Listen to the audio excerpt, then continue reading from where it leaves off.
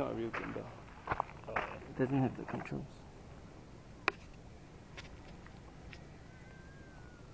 Yeah, it's recording.